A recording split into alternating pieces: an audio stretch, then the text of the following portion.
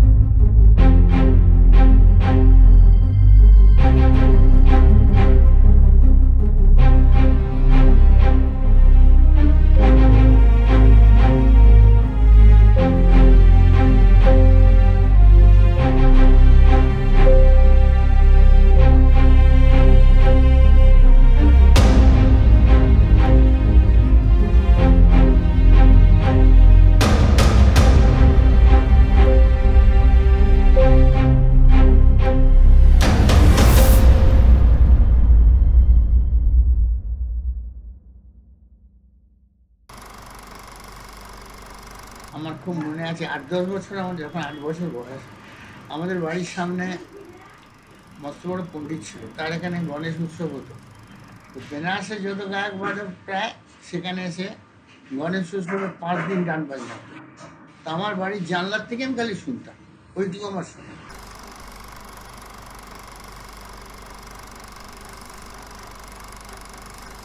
আমার বড়দা হারমোনিয়াম শেখা শুরু করল। আমার মেজদা একটুখানি গান একটু কিছুদিন বাজিয়েছিল। আমার শেষদাদা একটু ভাইলিন শুরু করল আমার দিদি তখন সেতার শুরু করল এটা পরে। ওই দিদি যখন সেতার শুরু করল, আমার তখন হলো, আমারও একটা কিছু করতে আর আমার পাশের বাড়িতে একজন বিলু মহারাজি ছিলেন, খুব ভালো হারমোনিয়াম বাজাতেন। এই সময় একটা খুব হিট গান ছিল, পরে জেনেছি সেটা পঙ্কজ মল্লিকের গান, পিয়া মিলন কো জানা। ওই গানটা আমি হারমোনিয়াম মধ্যে বাজালাম। আমি সারেগামাও কিছু জানি না আর হঠাৎ দেখি বড়দা। আমি তো তখন ভয় পেলাম। তো বড়দা ঘবরালো এটা বাজাতো এটা কি সারেগামা পর কি আমি কি জানি না। বড়দা বলি বাজা। আমি আবার ওইটাই বাজালাম। তারপর একদিন বাজাচ্ছি তো আমার পাশে বিরু মহারাজি আমার পাশের বাড়ি। উনি বলে দিয়ে যাচ্ছেন আমার বাজনা করবেন তো বলল, তোমার তো বেশে। আমি বললাম, তখন ওই শরৎটা যখন আমি শুনলাম, তার কিছুদিন পরে, তখন আমি বললাম, এই বাজনাটা আমি শিখব। বলে আচ্ছা এটা ম্যাট্রিক পাস করে নাও, তারপরে তোমাকে শেখাবো ম্যাট্রিক পাস করলাম। ওনার কাছে একটা অদ্ভুত যন্ত্র ছিল। সেটা সরোজ নয় সেটা নয় কিন্তু সরোজের একটা আকৃতি করে উনি আমাকে শুরু করলেন সেটা উনিশশো চুয়াল্লিশ সন হবে। বাবার কাছে আমাকে নিয়ে গেল আসুদা। যে চলো তুমি ওখানে সেইবার, আমার সঙ্গে যে গুল্লুজি ছিলেন, আমার পাশের বাড়ির মহারাজির এক সম্পর্কে ভাই, তিনি সেতার বাজাতেন তিনিও গেলেন। তো আমার সঙ্গে পরিচয় করালেন বাবার সঙ্গে। বাবা আমাকে বললেন, শোনাও তুমি। আমি ওই ইমনে গছ শোনালাম। বলে, বাহ বাহ বাহ বাহ বাহ, তুমি তো খুব ভালো বাজাও তা আমি তো মনে মনে ভালো ভালো তো বাজাই এর মধ্যে বলবার কি আছে?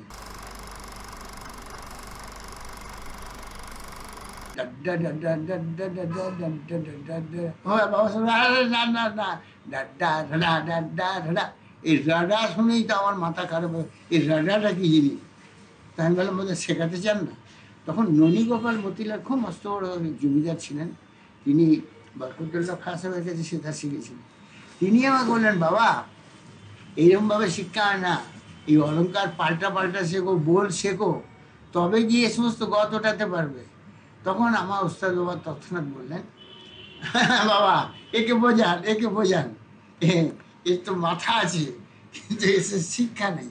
এরপরে বাবাকে আমি লিখলাম, যে আমি আপনার কাছে শিখতে যেতে চাই, যদি আপনি অনুমতি করেন। তো বলে আমার নাতি ফাতি আছে, তুমি তাদের পড়াবে। তো আমি বড় পর্দা নাসিন, আমার বাড়িতে রেখে আমি কাউকে আজ পর্যন্ত শেখাইনি, কিন্তু তোমাকে আমি শেখাবো।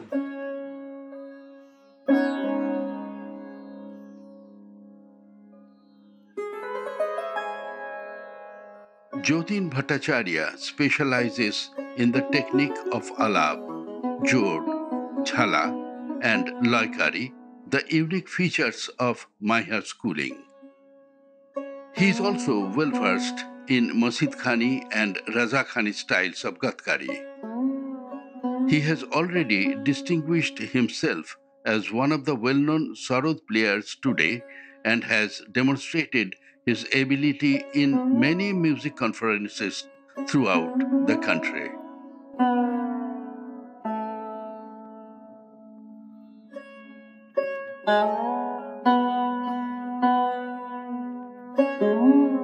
সম্পূর্ণ কানাড়া রাগটি জানি যে এটি যতীন ভট্টাচার্যের নিজের সৃষ্টি করা রাগ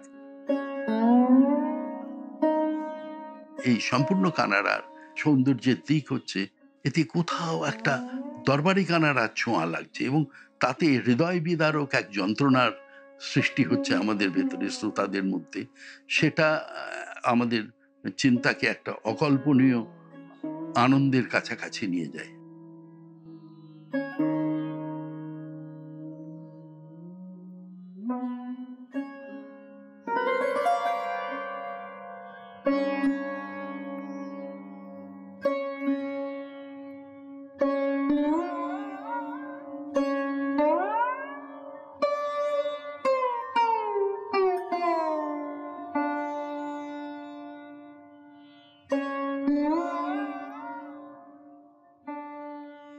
শুদ্ধ মধ্যম এবং পঞ্চম দুটি স্বর না থাকা অক্টেভের ভেতরে। এইটাই মারোয়া রাগের সবচেয়ে বড় সৌন্দর্য, সবচেয়ে বড় আকর্ষণ। এই সমস্ত অক্টেভের ভেতরে এর অনুসন্ধানই হচ্ছে মারোয়া রাগের উৎকর্ষের শ্রেষ্ঠতম পথ। তা এটা যতীন ভট্টাচার্যের স্বরদ শুনলে বারবার মনে হয়েছে, যেন ওই একটি প্রাচীন পোড়ো বাড়ির মধ্যে অন্ধকারের মধ্যে এক বন্দি আত্মা, সে নিজের পথ খুঁজছে। মারোয়া রাগ হচ্ছে তারই ছবি, যতীন ভট্টাচার্য। সেই ছবিকে নিখুঁতভাবে, নিপুণভাবে এঁকেছেন।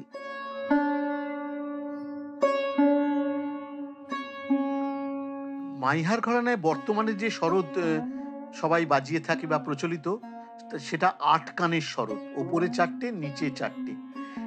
ওপরের চারটে তারকে জুয়ারির তার বলা হয়, আর নিচের চারটে যে তার, সেগুলো প্রধান তার তার মধ্যে এটা মধ্য সপ্তকের মধ্যম, এটা মধ্য সপ্তকের সুরে সরোজ, এটা খরচের পঞ্চম মানে মন্দ্র সপ্তকের পঞ্চম, এবং এটা মন্দ্র সপ্তকের খরচ বা সা। কিন্তু আলাউদ্দিন খাঁ সাহেব যখন ওরা রবাব বা সুরসিঙ্গার থেকে এই যন্ত্র উনি তৈরি করেন তখন তাতে উনি আরেকটা কান এই সরদে লাগান সেটা অতি খরচ পঞ্চম। সেই যন্ত্র যতীনবাবু অনুসরণ করে তৈরি করেছিলেন এবং বাজাতেন। বাবা এটা লাগাতেন নিজের গুরুদেবের ছবি। আর এইটা হলো ওনার ফিফথ স্ট্রিং ছিল যেটা দাদুরও ছিল। দাদুর থেকেই দেখে ওটা উনি করলেন। এইটাকে জবা বলা হয়। এটা পার্সিয়ান শব্দ জ- জওয়া থেকে এসছে আমরা বাংলায় জবা করে নিয়েছি জবা বলি। এটা আগে রবাব বা কাবুলি রবাব বা সেনিয়া রবাব এই জবা দিয়েই বাজানো হতো কিন্তু সেগুলো তৈরি হতো আখরোট কাঠ বা বাঁশ থেকে। কিন্তু পরবর্তীকালে শরদে যখন জবা বাজানো হলো তখন এই জবা তৈরি হতে আরম্ভ হলো নারকোলের মালার। এইটা যেমন নারকোলের মালার জবা আমরা এই এরমভাবে বাজাই। এরকম ভাবে বাজাই। এইটা দিয়ে বাবা নতুন এক্সপেরিমেন্ট করলেন। এটা বাফালো হর্ন দিয়ে জবা। আর নানান রকমের জবার উনি এক্সপেরিমেন্ট করেছিলেন। উনি বলেছিলেন এবং আমরা যতটা শুনেছিলাম মাথায় আছে আমাদের যে তাতে যন্ত্রের টোনটা একটু পাল্টে যায় একটু আরও গুরু গম্ভীর হয়। তো এইটা ওনার একটা পরীক্ষা নিরীক্ষা করার ফলে একটা সরদে একটা নতুন বৈশিষ্ট্য উনি আনতে পেরেছিলেন। নোকের ব্যবহার মানে আর্টিফিশিয়াল নোক তো আমি তখন সেই সব জিনিসগুলোর সঙ্গে বিশেষ পরিচিত ছিলাম না। কিন্তু উনার কাছে আমি প্রথম দেখলাম যে উনি এইসব নিয়ে খুব চিন্তা ভাবনা করেন এবং দেখাচ্ছিলেন। তার সব থেকে তো বাজানো ভেরি ডিফিকাল্ট অসম্ভব ওই আওয়াজই আসবে না। যদি নোক ঠিক না থাকে। তো অনেক এক্সপেরিমেন্ট হয়েছে এখনও অবধি চলে যাচ্ছে। উনি ছিলেন বন্দিশের সম্রাট। প্রায় প্রত্যেকটি রাগের মসজিদ খানি তো পেয়েছিলামই। কিন্তু উজির খানি আমি কারুর কাছে পাইনি, কারুর কাছে শুনিনি। উনি একমাত্র যিনি উজির খানি গত ধরে রেখেছিলেন। ওনার বাজনা কিন্তু কারুর সঙ্গে কোনো মিল নাই। না আলিয়া খান সাহেব, না রবিশঙ্করজি, না কারুর সঙ্গে মিল। তারপরে উনি আমার গুরু মায়ের কাছেও শিখেছিলেন। কিন্তু দাদু এমন এমন জিনিস ওনাকে শিখিয়েছিলেন, সেটা দুর্লভ। সেসব অঙ্গেতে আজকাল কেউ বাজায়ও না আর জানেও না। এটা ওনার বাজনার ব্যাপারে বলা যেতে পারে।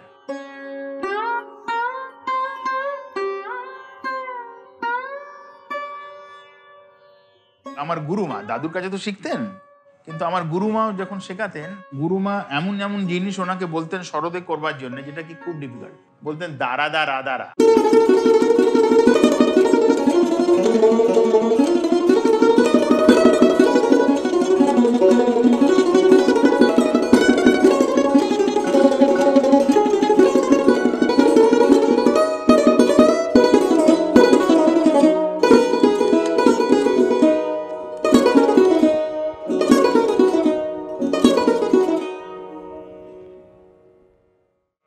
এটা আবার বিড়া রঙ হয়ে গেল।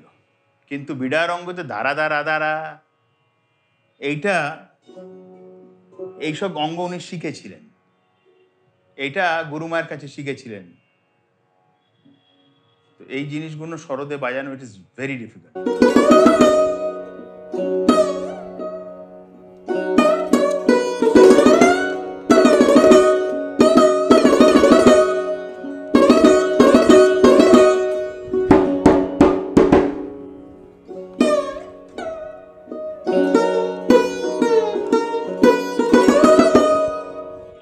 দাদা গুরুর বাজ আর গুরুমার থেকে এগুলো পেয়েছি, কিন্তু বাবা চামড়ার ব্যাপারটা করতেন উনি। তাই জন্য দেখাচ্ছি আপনাকে।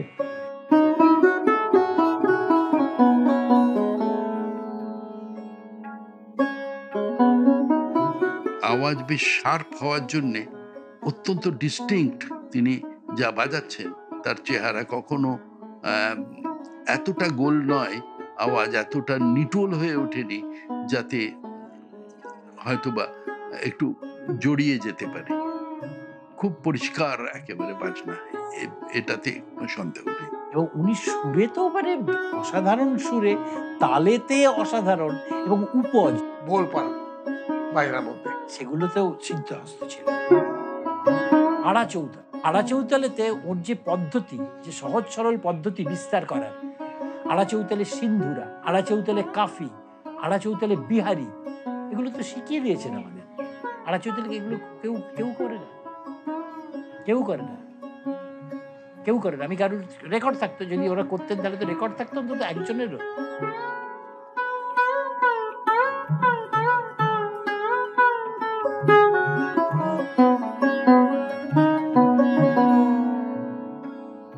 যতীন ভট্টাচার্যের স্ট্রোকের বৈশিষ্ট্যের কথা বলতে গেলে আমাকে এটা বলতে হবে তার যে শরদের যে টোনাল কোয়ালিটি তার সঙ্গে খুব মানানসই ছিল। বেশ বোল্ড স্ট্রোক আমি দেখি আলাউদ্দিন খান সাহেবেরও তাই ছিল স্ট্রোক খুব বোল্ড একেবারে বলব যে একটু স্ট্যাক্যাটো তার ভঙ্গি একদম কাটা কাটা ভঙ্গিতে তিনি স্ট্রোক করতেন। যেখানে আলী আকবর খান সাহেবের শরদের স্ট্রোক হয়তো সেখানে খুব কোমলভাবে উঠছে আস্তে আস্তে। আমাদের যন্ত্রে বলে একটা ছেড় ছাড় সেইটা দিয়ে শুরু করতেন বাজনাটা যেটা পুরোনো ধরনের শরৎ বাজে এটা বাজানো হয় আলাউদ্দিন খান সাহেব সেটা করতেন। ভোল পারান তবলার সঙ্গে লড়ান অন্য অন্য তালে বাজানো ওই যতটা উনি অন্য তালে বাজিয়েছেন অন্য কেউ বাজায়নি। ধরে নিন তেরো মাত্রা জয়মঙ্গল শুরু হয়ে গেল। বিলম্বিত হলো মধ্য বিলম্বিত হলো দ্রুত হলো। আজ অবধি আমি বলছি এক- এখন তো ছেড়েই দিন। এখন কোনো যন্ত্রবাদককে আপনি জিজ্ঞেস করে নিন কিংবা কাউকে জিজ্ঞেস করুন যে তেরো মাত্রা শুরু করে দাও। আর বিলম্বিত করো, মধ্য বিলম্বিত করো, দ্রুত করো বাজাতে পারবে না। সতেরো শুরু করে দাও, আঠেরো শুরু করে দাও, উনিশ, একুশ, এই তো মানে একদম যে কোনো সময় শুরু করে লাগে এমন তালিম ছিল। গুরুজি একমাত্র শরদে তখন এই ধ্রুপদ অঙ্গ বাজাতেন। ধ্রুপদ বাজাতেন, তো ধ্রুপদে পাখাওয়াজ বাজে। এই পাখাওয়াজকে সঙ্গে নিয়ে যা দেখেছি তখন অন্য কোনো শরদিয়া কিংবা কাউকে দেখিনি পাখাওয়াজ নিয়ে বাজাতে। এখন অনেকেও, অনেকেই বাজায় পাখাওয়াজও রাখে, তার সঙ্গে তবলাও রাখে। বাবা কি যে তিহাই টিহাইয়ের ব্যাপারে রাজা লোক ছিল? যেটা কি ধরে নিন অন্য যন্ত্রবাদকরা সেই যুগে, রবিশঙ্করজি হিসেবটা জানতেন, অন্যরা হিসেবটা অতটা জানতো না। ইনি হিসেবের ব্যাপারে খুব মাথাটা ক্লিয়ার ছিল অস্বাভাবিক ক্লিয়ার ছিল। ছিয়াশি সালে যখন যে অনুষ্ঠানটা বাজান কলা মন্দিরে, সেই সময়ে আমি গিয়েছিলাম অ্যাকচুয়ালি শ্রোতা হিসেবে তো বটেই, তার সঙ্গে আমার আরেকটা কাজ ছিল, আমি সেই সময় ডি টেলিগ্রাফ মিউজিক কাগজের মিউজিক ক্রিটিক ছিলাম, তো সেটা সমাজ সমালোচনা লিখতেও গিয়েছিলাম।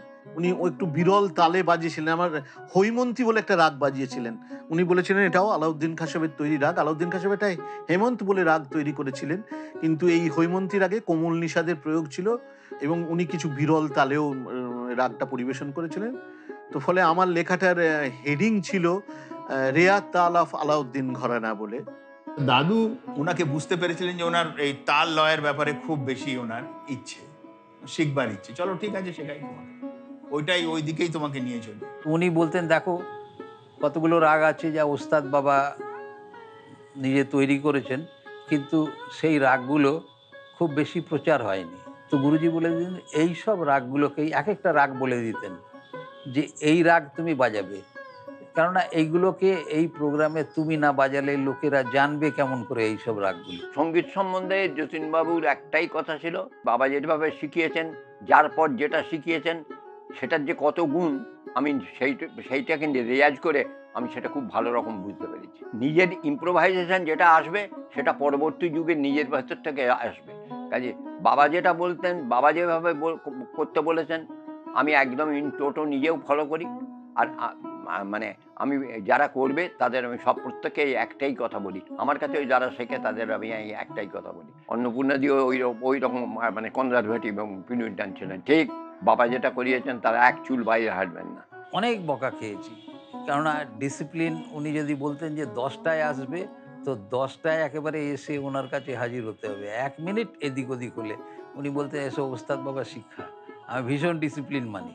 ডিসিপ্লিন যে না মানে আমি তাকে পছন্দ করি না। সব জায়গায়। কোথায় না বাজিয়েছেন? কলকাতায় বাজিয়েছেন দিল্লিতে বাজিয়েছেন প্রচুর বাজিয়েছেন।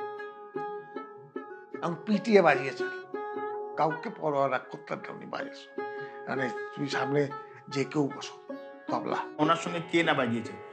কণ্ঠে মহারাজজি তারপরে আহমদ জান থিরেকোয়া হ্যাঁ ওয়াজেদ হোসেন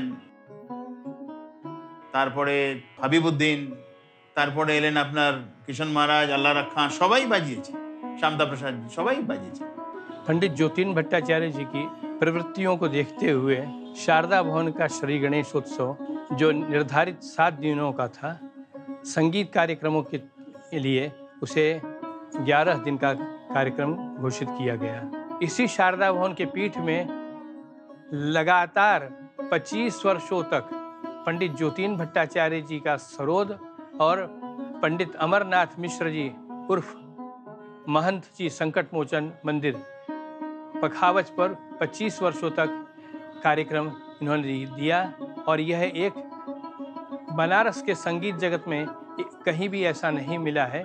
कि जो लगातार 25 वर्षों तक एक ही कलाकार, एक ही कार्यक्रम में प्रतिवर्ष उपस्थित हो।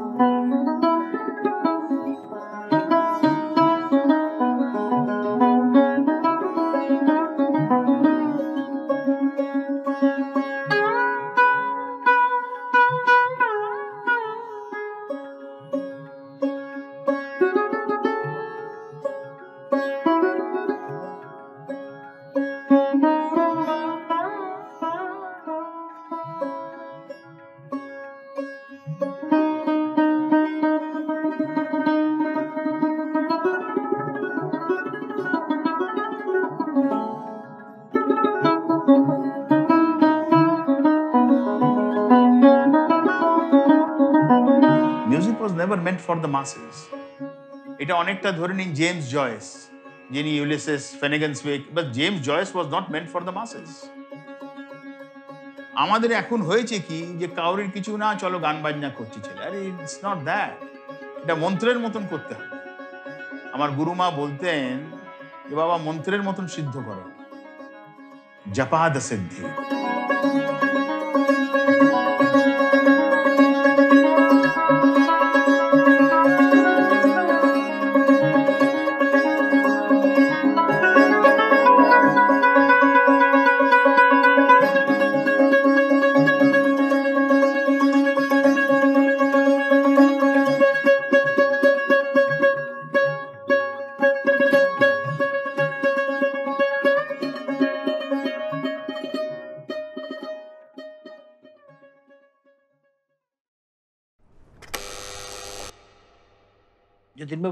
যা গেছে, সেটা আমি যদি ওখানে থাকতাম, আমি আত্মহত্যা করতাম।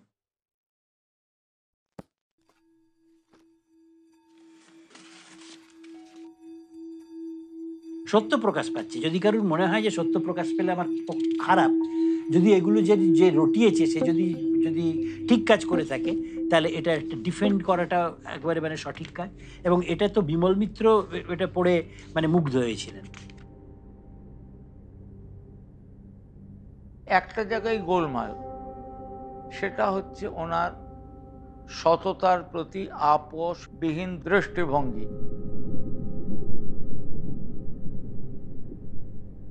উনি অসাধু পদ্ধতিতে নিজের যশ বৃদ্ধির প্রচেষ্টা কখনো করেননি।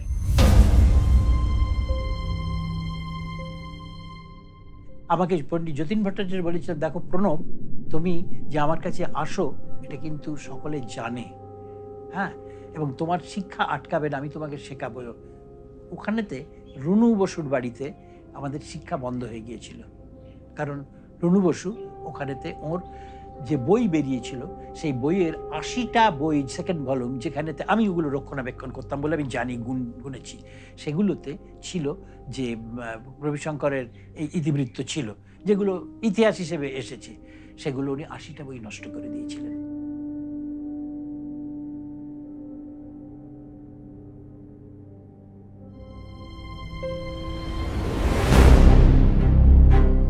রবিশঙ্করের ঘনিষ্ঠতম বন্ধু। তিনি আমার হাত ধরে বলেছিলেন, এখনও আমার মনে পড়ছে সেই তার ঘরমাক্ত হাত। Trembling it is trembling Pranab, তুমি যতীনের কাছে যেও না, যতীন বেসুরো।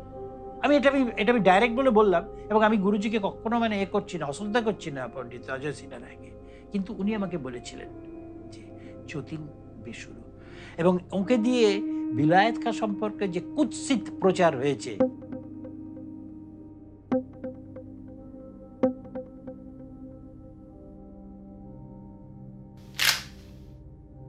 সাত বছর ছিলাম সাত বছর পরে বেরিয়ে বিহার থেকে সারা ভারতবর্ষে আমি ঘুরে ঘুরে বাজালাম।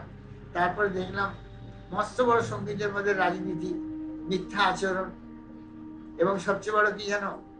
আমি প্রথম ফিফটি সেভেনে যখন বাজালাম কলকাতায়, একদিনেই আমার এত নাম হয়ে গেল আনকে লালের সঙ্গে। পরের দিনে রেডিওতে আমার মানে তখন রেডিওর আমি আর্টিস্ট নই, রেডিওতে আমার লাইভ টেলিকাস্ট করবে। সেই লাইভ টেলিকাস্ট হলো। আর সেইখানেই আলী একবার শুনে বলল, বাবা, এতদিনে যা নাম করেছি, প্রথম দিনে বাজিয়ে যা নাম করলে? তখনকার দিনে রোশন কুমারী চরম নাম। রোশন কুমারীর ডান্স আর আমার বাজি না। আমার সঙ্গে শান্তা প্রসাদ বেড়াতে গেল। আজ আবার পরে যখনই গেলাম গুরুপুত্র, সেখানে প্রণাম করতে গেলাম। বলে, এর মধ্যেই তোমার আবার প্রোগ্রাম হয়ে গেছে? এরপরেই আমার দুটো প্রোগ্রাম ঠিক হলো মানে পরের বছর। তখন ডোভারল্যান্ড সবচেয়ে বড় ডোভারল্যান্ডে একটা প্রোগ্রাম আর একটা নতুন কনফারেন্স তার মধ্যে অ্যাডভান্স দিয়ে গেল। কাগজেও বেরিয়েছে, সকালে কাগজেও দেখছি আমার নাম। তখন প্রফেসর যতীন ভট্টাচার্য, তখন ওস্তাদ অমুক, সব বড় বড় ওস্তাদের নাম, আমারও নাম দেখি বারবার দেখছি। বারোটার সময় চান করে শোবো তৎক্ষণাৎ সে লোক এসে বলল যে, আপনাদের বাড়ির লোকই আপনাকে মানা করছে। আমরা অ্যানাউন্স করে দিয়েছি গতকাল যে আপনার বাড়াতে হবে না। আমরা নিখিলকে রেখেছি। আর দুটো প্রোগ্রামে আমার প্রোগ্রাম কাট করল। আমি চুপ করে আনলাম ঠিক আছে। এটা যে কত বড় আঘাত তুমি কল্পনা করতে পারো? আমি এটা দেখেছি নিজের চোখে যে ওনাকে বুক করা হয়েছে। আলী একবার এসে যায় নাকি সংস্থার লোক তাকে বলল ওকে কেন নিচ্ছ? নিখিল কেন? না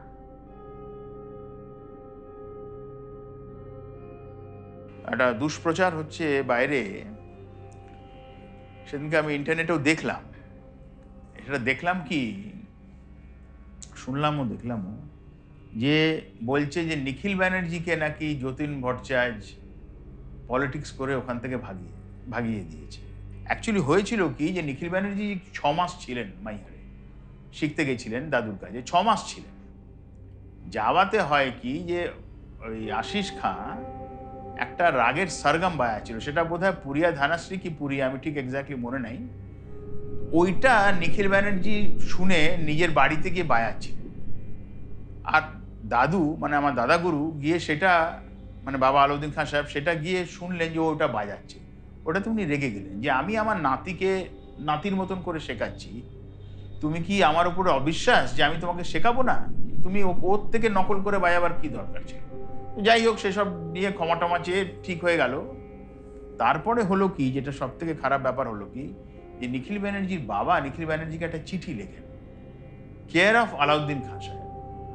তো সেই চিঠিটা হয়েছে কি, দাদু কেয়ার অফ আলাউদ্দিন খান সাহেব দেখে দাদু সেই চিঠিটা খেয়াল করেননি, খুলেছেন।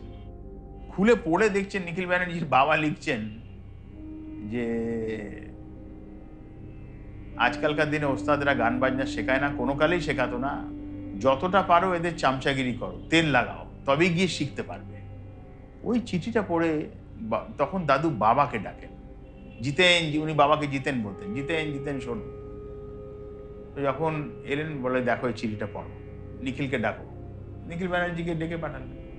বললেন যার বাবা এমনি করে করে, তার ছেলের প্রতি আমার কোনো বিশ্বাস নাই। নিকালো। রবিশঙ্করজি বলেছেন অন্নপূর্ণা দেবীকে যে, তুমি গিয়ে বাবাকে বলো যে, নিখিলকে যেন না শেখানো হয়।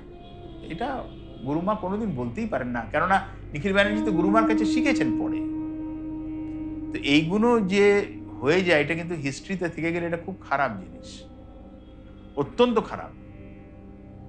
কেন সেটা করবেন উনি? যে নিখিল ব্যানার্জিকে শেখাবে না কেন? হ্যাঁ? আর যাই হোক, তারপরে তো নিখিল ব্যানার্জি গুরু মায়ের কাছেও শিখেছেন আলী আবুল খান সাহেবের কাছে তো শিখেইছেন এইসব জিনিসগুলো যে বাজারে এইগুলো বলা হয় বলছে এগুলো খুবই দুঃখের বিষয়। শিল্পী হিসেবে ওর জায়গাটাকে শেষ করে দিয়েছে। শিল্পী হিসেবে ওর জায়গাটাকে শেষ করে দিয়েছে। আমি ওনাকে জিজ্ঞেস করলাম যে আপনার বাজনা ওই জায়গা থেকে নিয়ে এখানে কেমন করে পড়ল? He was in to tears ওনার আমার ফ্রাস্ট্রেশন চলে এলো। তো ফ্রাস্ট্রেশনে মানুষের কি হতে পারে সেটা আমি নিজের চোখে দেখেছি। রেডিওতে কোনো রকমের বা- বাজনা শুনতে পেতাম না সেই ছিয়াত্তরের পর। পরে শোনা গেল, কেউ নাকি স্টেশন ডিরেক্টরের কাছে মানে বলেছেন, যে আরে ওর নামটা কেন রেখেছো? ও তো এ হয়ে গেছে, অসুস্থ হয়ে গেছে, ও তো আর বাজাতে যেতে পারবে না, কেন ওর নামটা রেখেছো? তো নামগুলো চলে গেল। নাইনটি ফোরে আমেরিকাতে গিয়ে এই বেঙ্গলি অ্যাসোসিয়েশনের তরফ থেকে অল ইন্ডিয়া এখান থেকে সমস্ত গান, বাজনা, নাটক সব যায়। তার মধ্যে আমার প্রোগ্রাম ঠিক হলো তারা আমার বাজনা শুনে। তারপরেই রবিশঙ্কর সেটা কেটে দিল কারণ সেইখানে পরে আমি শুনলাম যে রবিশঙ্করকে সেখানে সেদিনে একটা অর্ডার দেবে। আর তারপরেই আমি বাজাবো। যখন আমি শুনলাম তাহলে আমার আর প্রোগ্রাম হবে না। বলে কেন? দেখুন যদি হয়। তারপরেই তারা আমাকে হঠাৎ বলল শুনুন, আমার যেখানে আমার প্রোগ্রাম ঠিক করেছিল আমার ভাইপো, তারা বলল, শুনুন, ওনারা আসা যাওয়ার খরচা দিতে পারি, কিন্তু আমরা টাকা দেবো না। আমি ওনার সঙ্গে কথা বলুন। তো আমাকে প্রথমে বলল, আপনি পণ্ডিত পণ্ডিত লেখেন? দেখুন, আজকাল সকলেই পণ্ডিত বলে, কিন্তু আমি পণ্ডিত উপাধি পেয়েছি। আর কবে? ফিফটি এইটে আমি পাটনা, পাটনার থেকে আমি পণ্ডিত উপাধি পেয়েছি আর সব গোল্ড মেডেল পেয়েছি। বলে আচ্ছা আচ্ছা। কিন্তু দেখুন, আপনার আসা যাওয়ার খরচা দেবো আপনার টাকা আর টাকা না দিলে আমি এখানে এসেছি কিসের জন্য? মুখ দেখাবার জন্য? আমি তো বাজাবার জন্য তো আসিনি। আমার নাহলে এখানে এত খরচা করে এসেছি টাকা উঠবে করতে। বলে, আমরা, আমি তাহলে ক্যান্সেল করে দিই। পরে বললাম রবিশঙ্কর সেটা কেটে দিয়েছে। উনি যখন নিজে বিমান বোসের কাছে গিয়ে বলেছিলেন আমার রেকর্ডগুলো কি আর প্রিন্ট করা যায় না? বলে না না করা যাবে না। ও তো আর কলকাতাতে হচ্ছে না ওগুলো ওগুলো আর করা যাবে না। ওনার কথায় কথায় অনুষ্ঠানটা হবে। গুরুজির সাথে আমি গেছি এবার স্টুডিওতে ঢুকছি। কলকাতা দূরদর্শন কেন্দ্রের ডিরেক্টর আমাকে পিছন থেকে হাত ধরে টানলেন একটু। বলে একটু শুনুন একটু কথা আছে। আপনি পণ্ডিতজিকে ওইখানে রাখুন আপনি আসুন। তা আমি একটু পিছিয়ে আসলাম। তা পিছিয়ে আসার পরে আমি বললাম, কী বলুন? বলল যে, আপনি একটু পণ্ডিতজিকে বলবেন যেন উনি যেন, এটা তো লাইভ টেলিকাস্ট হচ্ছে, উনি যেন কোনো বিতর্কিত কথা না বলেন। তখন আমি গুরুজিকে বলাতে, গুরুজি তো হো করে হেসে উঠল। বলে, আরে রাম রাম, এই কথা তো আমাকে সব সময় বাড়ি থেকেও যখন বেনারস থেকে বেরিয়েছি, তখন এই কথা বলে দিয়েছে। তা আমার তো ছাতা মনে থাকে না। যখন কথা বলি, তখন যা সত্যি তাই বলে ফেলি। ভারতের যে কজন শিল্পী ভারতরত্ন হয়েছেন, আমি সবাইকে দেখেছি। সবার ইন্টারভিউ আমি করেছি। সবার ভেতরে একটা কোথাও উত্তেজনা থাকতো। কি ছাপবে, কেমন ছাপবে, ছাপার পরে যেন কাগজটা চট করে হাতে আসে। ঠিক এর বিপরীত পণ্ডিত যতীন ভট্টাচার্যর বিষয়ে কিছু লিখলাম। আমাকেই কাগজ পৌঁছতে হয়েছে। উনি ওটাকে দেখা মাত্র উত্তেজিত হয়ে খুলে পড়তেনও না রেখে দিতেন। দেখব এই যে নিষ্পৃহ ভাব এটা তার পক্ষেই সম্ভব যে সাংবাদিকের লেখার থেকে বেশি নিজের সঙ্গীতের উপরে বিশ্বাস রাখে। তার বাজনাটা কি ছিল সেটা তো আপনি জানবেন। তার কিচ্ছু পাওয়া যায় না কিচ্ছু পাওয়া যায় না। কোনো ছাত্রছাত্রীর কাছ থেকে কিছু নিতেন না। কাজে সংসার চালানো মুশকিল নিশ্চয়ই হতো। কিন্তু আমি সেটা ম্যানেজ করে নিতাম আমি কোনোভাবে ওস্তাদ বাবার বই লিখতে গেলাম। ভারতবর্ষের যত আমি ওস্তাদের কাছে গেলাম প্রত্যেকের বাড়িতে দেখি টিউশন করছে ঘর ভর্তি ছেলে মেয়ে। একমাত্র ওস্তাদ বাবার জীবনে যাদের শিখেছেন একটা নয়া পয়সা তাদের কাছ থেকে এক সাহেব এলো ওনার বাড়িতে। তখন ওরা টাকা পয়সার কোনো অবস্থা কোনো এমন কিছু ছিল না। সাহেব একটা বাক্স ভর্তি টাকা দিয়ে ওনাকে বলছেন তুমি আমাকে পনেরো দিনে সব শিখিয়ে দাও। কোনো লোক আমি মনে করি না যে ওটা টাকাটা নিয়ে ওনাকে দশ পাতা, দশটা খাতা লিখিয়ে আর কিছুটা শিখিয়ে ওই টাকাটা নিত না বলে আমি বিশ্বাস করি না। উনি, ওনাকে দেখলাম যে বললেন যে পাকা, তুমি ওটা বন্ধ করো। উনি যতীনদা বললেন যে ওটা বন্ধ করো তুমি। আর ওটা নিয়ে কার কারও কাছে এমনি করে যেও না। এই পাঁচ, দশ দিনে, পনেরো দিনের শিক্ষার জিনিস নয় এ হচ্ছে দশ, বিশ বছরের শিক্ষার জিনিস। ভুল লোকের কাছে যেও না, ভুল করে এমনি করে টাকা দিও। ওনাকে তো কিছু বলতাম না, আমরা জানাতাম না আমাদের আর্থিক কষ্টের কথা। ইদানিং ছেলে বড় হওয়াতে এসে রাত দুপুরে বলছে রাতের প্রায় বারোটা। মা, কি হবে? আমাদের ঘরে তো কিছু নাই, কালকে কি হবে? আমাদের ঘরে তো তো একদম টাকা নেই। মানে একশো টাকাও নাই, কুড়ি টাকাও নাই, এরকম অবস্থা। ঈশ্বর যে আছেন সেটা আমি সত্যি সেদিন বুঝলাম। বেলা বোধহয় বারোটা সাড়ে বারোটার মধ্যে হঠাৎ পোস্টম্যান এলো। আর পোস্টম্যান দীপালি ভট্টাচার্যের নামে মানি অর্ডার আমাকে কে মানি অর্ডার করবে? চার হাজার টাকা তখনকার দিনে আমার নামে এসছে। আমাকে লিখেছেন অন্নপূর্ণাদি আমি ওনাকে দিদি বলতাম, কিন্তু উনি আমার মায়ের মতন ছিলেন। বলতেন যে, জানি তুমি নিজের জন্য কখনো কিছু করো না। তুমি নিজের জন্য কখনো ভাবো না, সব সংসারের জন্য ভাবো। ওই জন্য উনি আমাকে ভীষণ স্নেহ করতেন।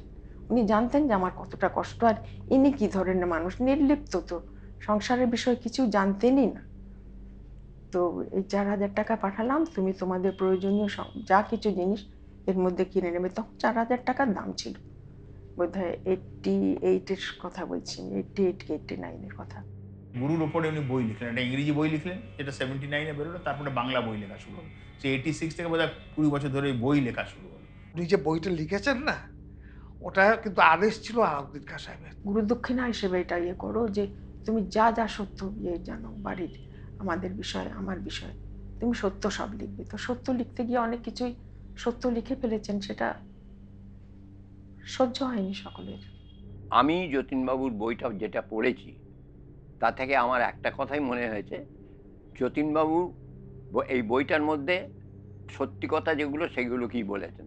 কারুর ওপরে রাগ করে ইনফ্যাচুয়েটেড হয়ে কথা বলা বা নিজের ইগো দেখানোর জন্য কথা বলা সেটা নয়। উনি খুব মানে যতীনবাবুর একটা মস্ত গুণ ছিল কি? খুব সরল, সহজ মানুষ ছিলেন। এবং এই যে কথাবার্তা বলার সময় যখন বলতেন, তখন বেশ মানে প্রাণ খুলে কথাবার্তা বলতেন। অ্যাটলিস্ট বইটা পড়লে লোকেরা বুঝতে পারে যে মাইহারের যুগে সেই সময় কি ছিল কি হয়েছিল? উনি কোনো আলাদা করে উনি কনকক্টেড স্টোরি লেখেননি।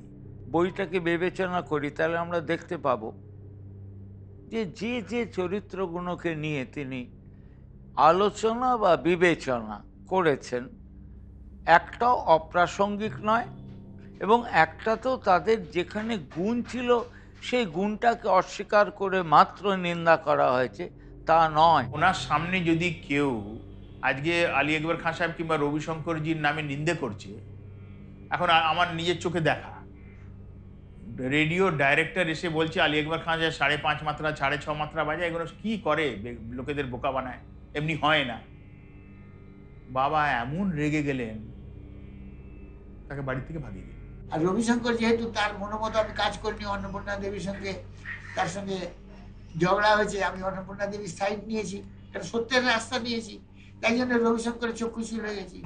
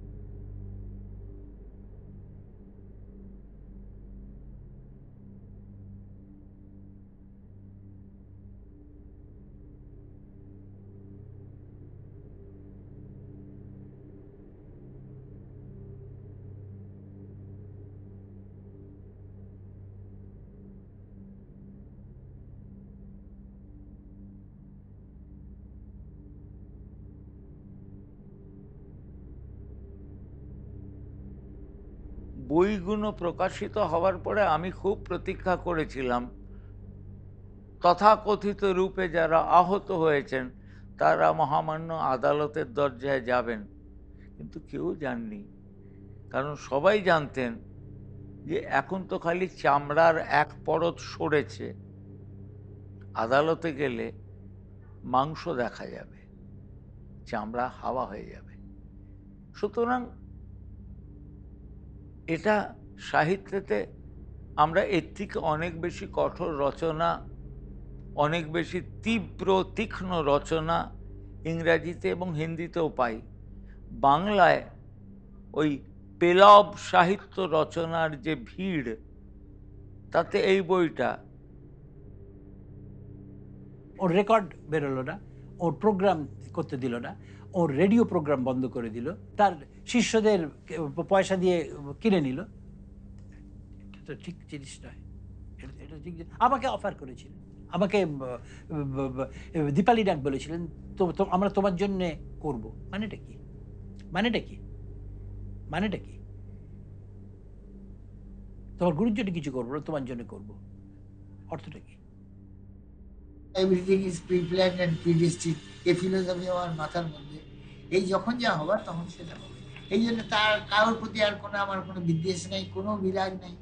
এখন আমি জানি যেটা যখন হবার, ঝগড়াই বলো, সুনামি বলো, দুর্নামি বলো, যখন যেটা হবার সেটা